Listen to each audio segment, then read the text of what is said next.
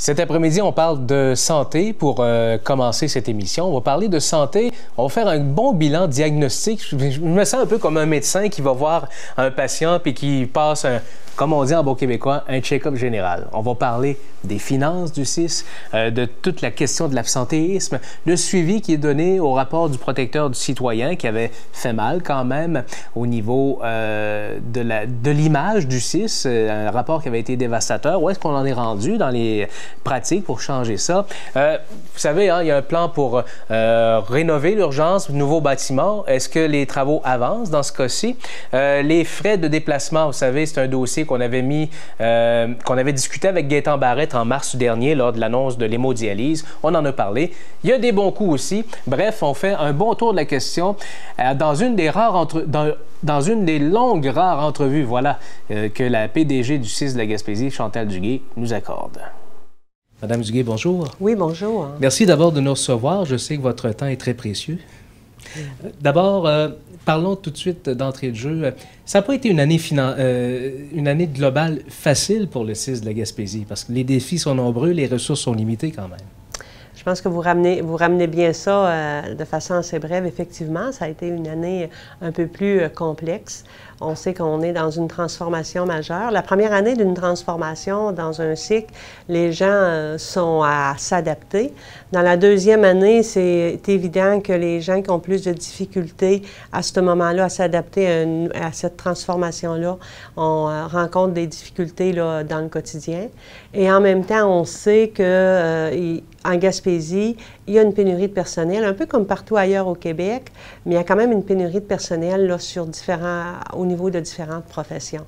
Donc, quand on sait l'enjeu principal du CIS, qui est de donner et d'offrir des services de qualité, où le capital humain est notre première priorité, si on devient en pénurie, bien à ce moment-là, ça nous demande des efforts, ça nous demande une créativité différente pour permettre l'offre de service à la clientèle. Hum. Parler de pénurie, on le vit de façon assez, euh, assez radicale pendant la période des fêtes, des anesthésistes qui seront absents à Chandler, à Sainte-Anne-des-Monts. Ça met beaucoup de pression sur l'ensemble du réseau gaspésien, même si c'est qu'un port d'attache ou deux qui sont euh, les premières victimes de ça. Écoutez, même si c'était un port d'attache ou deux, je le disais tout à l'heure aux membres du conseil d'administration, qu'il n'y ait pas un anesthésiste dans un hôpital, c'est majeur c'est inacceptable. Euh, on doit mettre tous nos efforts pour essayer de, combler cette rupture-là. Euh, on a connu Saint-Anne-des-Monts la semaine dernière. On sait qu'il y a des anesthésistes de Gaspésie qui sont allés prêter main forte. Euh, Chandler, ça va être le 29 de décembre. 29 de décembre, au début janvier, au 11 janvier, on est en train de voir comment on pourrait diminuer ce, haut niveau de, de rupture parce qu'en anesthésie, 12 ou 13 jours, de rupture de service, c'est majeur. Et on sait que durant l'hiver, il pourrait en avoir d'autres dans d'autres hôpitaux. Donc, c'est clair que c'est notre priorité, la priorité du directeur de services professionnels, de son équipe, la priorité de la présidente directrice générale actuellement, c'est de travailler à éviter toute rupture. Et je peux vous euh, confirmer que le ministère nous supporte actuellement. On est en lien euh, tous les jours euh, de très près dans ce dossier-là pour tenter de trouver des solutions. Hum. C'est un cas extrême, mais il reste que de façon générale, vous le disiez, à l'échelle du Québec, on manque de main-d'œuvre. D'attirer des gens en région, c'est déjà pas facile. Alors d'aller chercher des ressources plus spécialisées en Gaspésie, c'est encore plus difficile. Ça ajoute à la complexité du problème. Ça ajoute à la complexité, puis on sait très bien aussi avec nos... Euh, on peut avoir des gens qui viennent nous dépanner, mais il y a aussi euh, nos moyens de transport. Hein, L'avion, s'il y a une tempête l'hiver, euh, ils n'atterrissent pas toujours à la bonne journée, à la bonne heure, peu importe où on se situe sur le territoire. Donc, c'est évident que le problème que ça nous amène est, est considéré comme un des enjeux les le plus prioritaire actuellement aussi de la Gaspésie. Hum. On faisait référence tantôt au personnel soignant. On a vu le taux de maladie augmenter de façon régulière, constante pour atteindre les 8 cette année. Euh, c'est une partie du déficit annoncé pour cette année, mais qu'est-ce qu'on fait comme mesure pour essayer d'atténuer, de ramener les gens au travail et de garder un climat de travail euh, où les gens peuvent suivre un rythme de travail correct?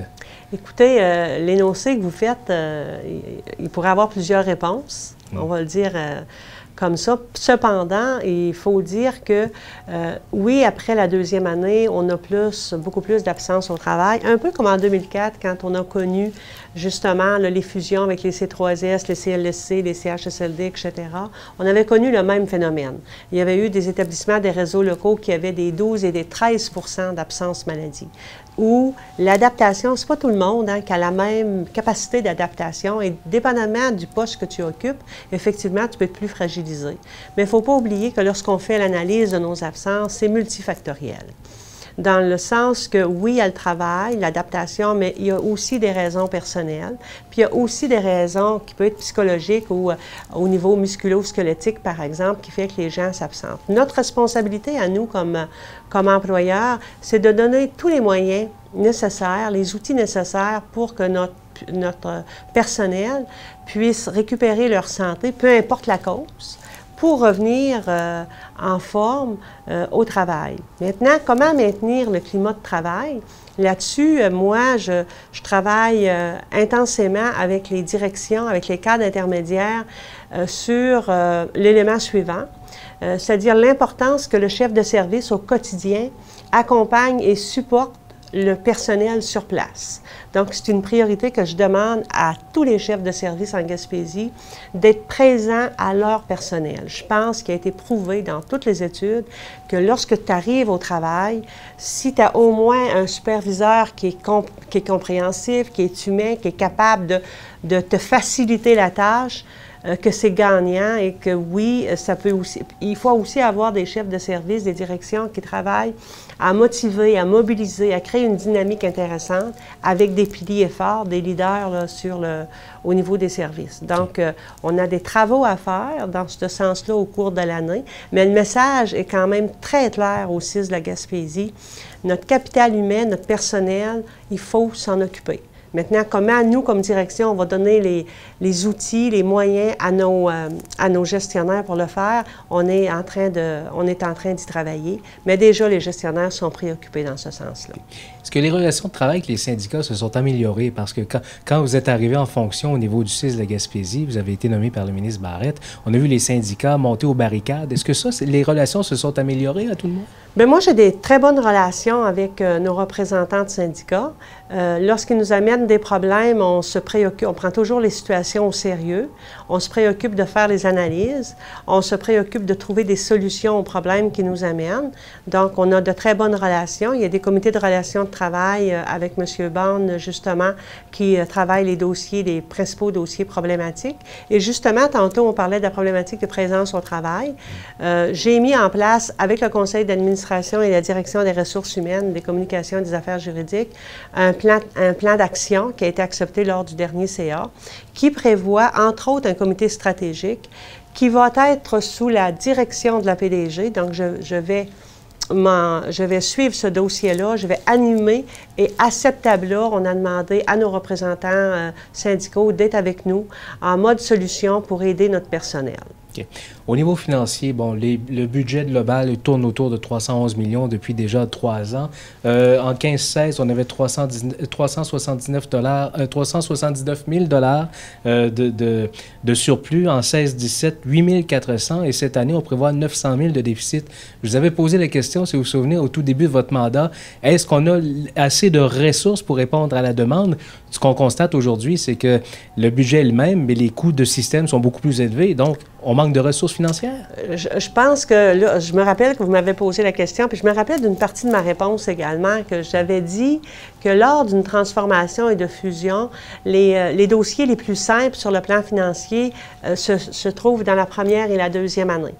Euh, où ça devient, plus on avance, plus c'est difficile parce que là, lorsqu'on a fini de réorganiser, lorsqu'on a terminé nos travaux d'optimisation, bien, il y a un bout que tu peux, tu peux ne plus, tu peux plus optimiser parce que tu peux toucher la qualité de service à la clientèle. On est rendu à l'os. On est rendu à se dire, on est rendu à se dire, on a encore des travaux d'optimisation à faire, mais il faut les faire de façon plus délicate.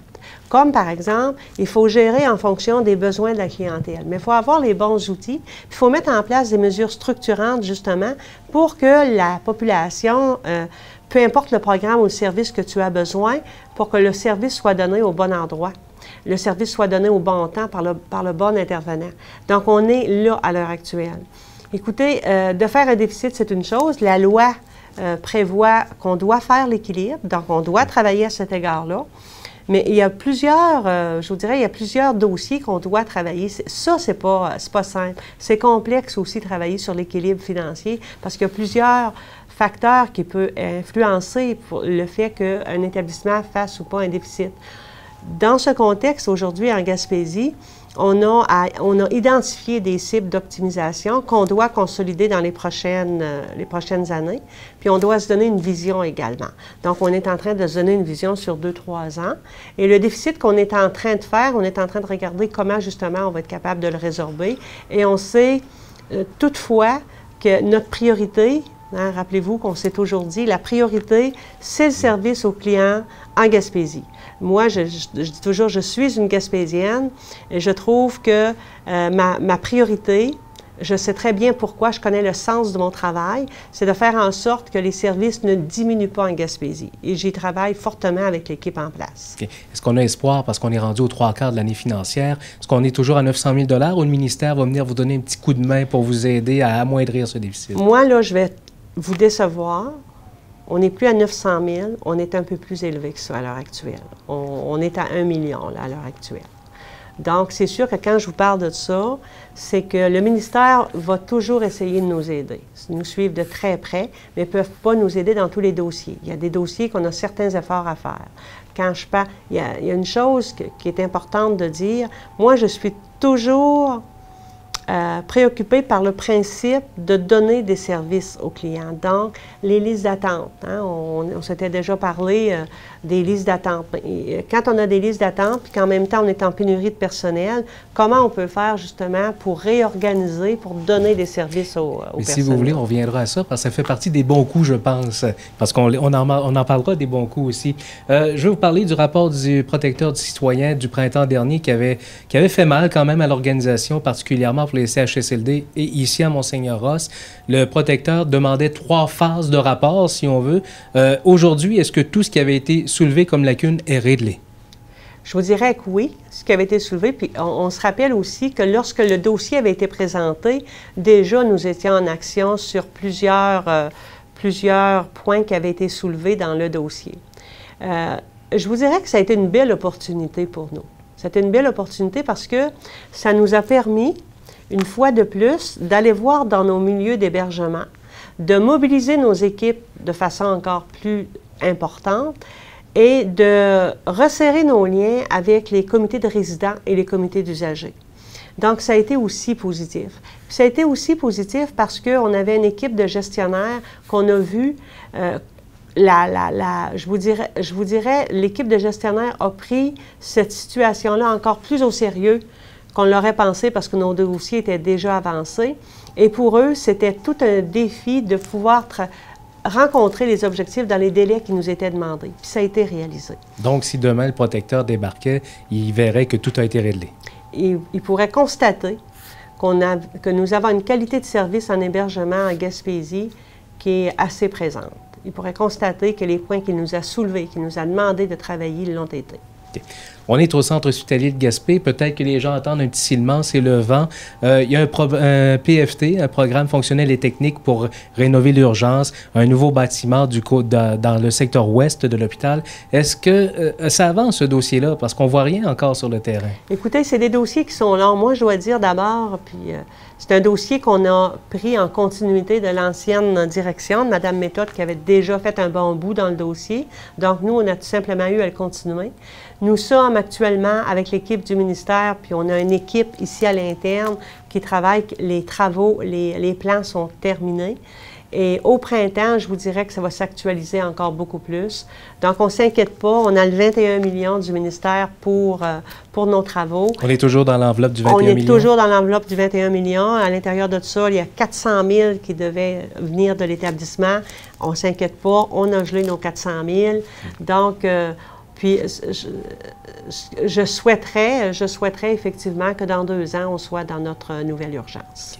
Euh, il y avait un comité qui avait été formé pour discuter des frais de déplacement, là, parce que dans les grilles qu'on avait vu passer, là, on parlait de 13 sous le kilomètre quand on dépassait, pour les, les, les, les citoyens de Gaspé, quand on dépassait Saint-Anne-des-Monts, ça s'appliquait. Vous aviez dit, on allait regarder la question. Le ministre Barrett s'était aussi engagé en ce sens. Où est-ce qu'on en est rendu dans ces démarches? Le, le, comité qui avait été mis en place était de, de, la, permanence du CISP et des membres du CA qui étaient préoccupés par ce dossier-là. On sait aussi que c'est un dossier qui avait préoccupé tous les centres, tous les conseils d'administration des anciens C3S. Et le document est terminé. On a des scénarios qui sont déposés. On doit le présenter au conseil d'administration de février. Donc, euh, ça, va être ça va être en février qu'on va le déposer, toujours en fonction, naturellement, des orientations du ministère. Mais il y a une sensibilité à notre réalité. Il y a une belle sensibilité à notre réalité. Et euh, pour moi, c'est un dossier. Euh, hein, on a plusieurs plaintes. Hein, la commissaire aux plaintes reçoit plusieurs plaintes par rapport à un dossier de ce genre-là. C'est un réel besoin. De plus en plus, une, clientèle avec des, euh, des, problèmes, là, je voudrais. Plus spécialisés, qui nécessitent d'aller à Rimouski, Québec, Montréal ou Sherbrooke. Puis des gens de plus en plus âgés également, puis aussi de plus en plus jeunes. Hein, parce qu'on voit qu'il y a beaucoup de jeunes qui, qui sont confrontés à vivre des problèmes de santé jeunes. Donc, les parents doivent laisser leur emploi, aller euh, ne serait-ce qu'une journée, deux journées, puis souvent ça peut être des mois, avec les gens à l'extérieur. Donc, on travaille ce dossier-là, c'est un réel besoin. En février, on aura les conclusions. Est-ce qu'on peut dire que ça va refléter en bonne partie les coûts réels des, des, des, malades? Ou? Euh, je pense pas. Il y, a, comme une partie qu'il faut quand même être réaliste. Le 100 euh, je pense pas qu'on va être mhm. capable. Mais si on peut améliorer notre situation, puis soyez assurés qu'on va faire, on va faire tout le bout qu'on est capable de faire, puis on va faire aussi nos représentations au ministère. Parce qu'il y a une politique du ministère qu'on doit s'accrocher, donc il faut aussi que là, on ait un peu de, sensibilité aux demandes du CIS de la Gaspésie. Je le disais tantôt, il y a quand même des bons coups. Tout n'est pas noir au CIS. Euh, l'hémodialyse, performance des urgences, euh, où l'état d'attente est beaucoup moindre par rapport à d'autres régions du Québec. Les blocs opératoires aussi, qui ont connu une augmentation de productivité quand même importante. J'imagine que ça fait du bien quelque part de voir qu'il y a quand même des bonnes nouvelles. Écoutez, euh, il y a des bonnes nouvelles, mais les plus bonnes nouvelles qu'on peut voir, euh, il y, a des dossiers plus complexes, vous l'avez dit tantôt, mais les dossiers que vous nommez, ce sont aussi des dossiers complexes. Donc, ça veut dire qu'il y a du monde, hein, il y a eu des employés, il y a eu des médecins, euh, il y a eu des, équipes de gestionnaires qui ont travaillé fortement pour améliorer. Quand on regarde la performance de nos urgences, actuellement, nous sommes à 9,6. Euh, donc 9h,6. Donc, c'est intéressant. Quand on regarde la performance de nos blocs opératoires, ça veut dire que maintenant, nos blocs, on demande à ce qu'on commence nos interventions à 8 heures. Donc, ça aussi, ça vient. On augmente nos interventions dans le cadre du bloc. Puis, on sait que si la performance n'est pas du rendez-vous, on va être questionné euh, mm. de façon importante par le ministère. Donc, on a toute une fierté à développer notre performance de productivité.